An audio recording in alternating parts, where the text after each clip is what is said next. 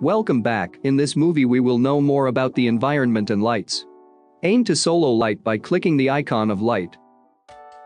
As you can see you have directional and environment light. In directional light you have four types, you know them for sure, I'm just saying. And of course the most important one. That is sunlight. As you can see sunlight casts significant sunny daylight shadow.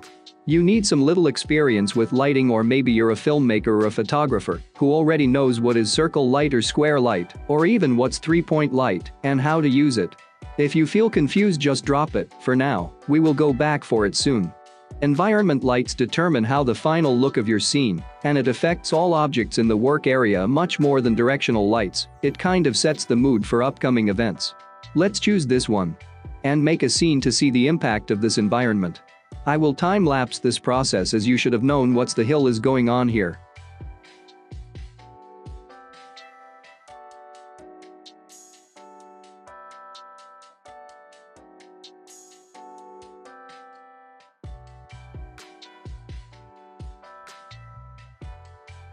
Okay, let's apply a three-point light. If you check the scene menu, you'll find three new layers maybe under environment light which is key, fill and backlight.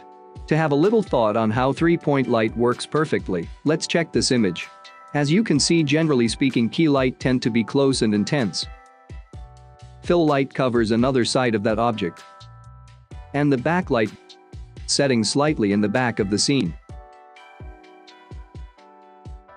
Back to the lights in the project, select the key light and click this icon here to aim in the right place, same with other lights, and keep tweaking, adjusting and improvising.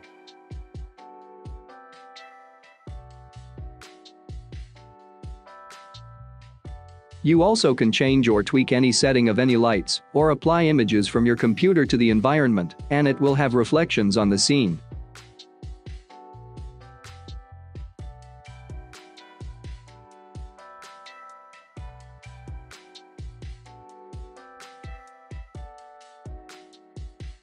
But don't try to add too much light because it will make the scene overexposed. So in order to fix it, you will double up the time of tweaking and previewing. Now preview.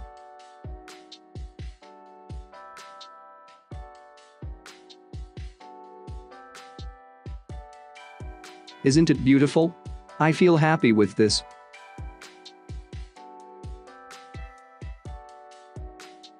In the next one we will know how to render.